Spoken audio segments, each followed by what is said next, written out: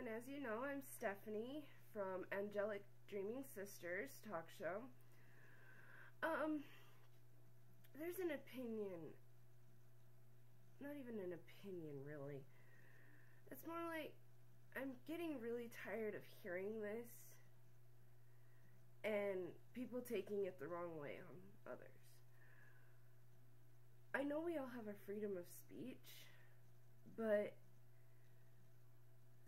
seriously, if somebody says something looks similar to something, you know, like anything really, and they're not saying, oh, I hate this person because they're copying me and blah blah blah, it doesn't mean that they hate the person. If they're just saying, you know, oh, well, it kind of looks similar, that doesn't mean they're saying that they stole it from them. And that they're copycats and all this other crap. They're just saying that it looks similar. They might have gotten the idea from a person, but they put their own spin on it too.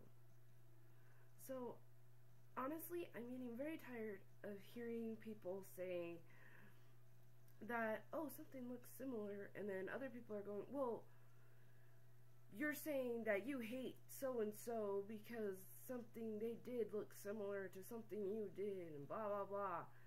I think it is annoying. I think it's stupid. It's someone's opinion saying, oh, you know, you know, yeah, it kind of looks similar. But that doesn't mean it's the same thing. I agree that sometimes it can be taken wrong, but yeah, it doesn't necessarily mean that.